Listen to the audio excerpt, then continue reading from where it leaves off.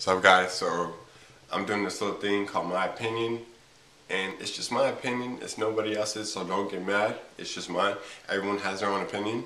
Um, so I'm going to talk about abortion. You know, for me, I think it should stay legal, you know, because it's the woman's choice. But when I was younger, I didn't know what abortion was. I didn't know how it was taught or done.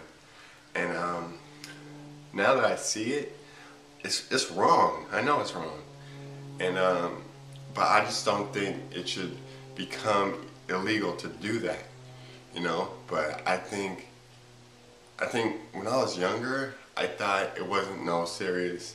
Like I didn't know there was an actual baby inside, you know.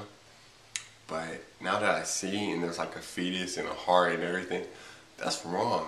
I think it's wrong, and um, think instead of abortion, they should just give it up. You know, they should just bring it to an adoption agency or whatever and give it to them.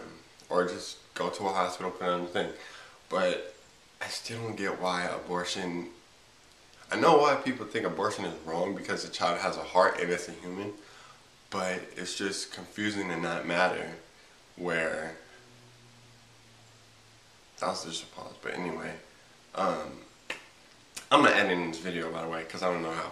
But following abortion, people think it's wrong because the child has a heart. Yeah, it's wrong and it's sad. But if you can't take care of the child, then why keep it? And I know, like I said, you could you could just give it to the abortion agent. I mean, you just give it to the hospital or the adoption agency, and they can they can figure it out and handle it, and it won't be on you. And plus, abortion costs hell of money. I'm not for abortion. Well, I was, but now I'm not. Um, I just think abortion should be kept legal. Because there ain't, there's just, that's just how it should be. I know. Um, that's about it. That's just my take on abortion. Can you leave me opinions on what to talk about next?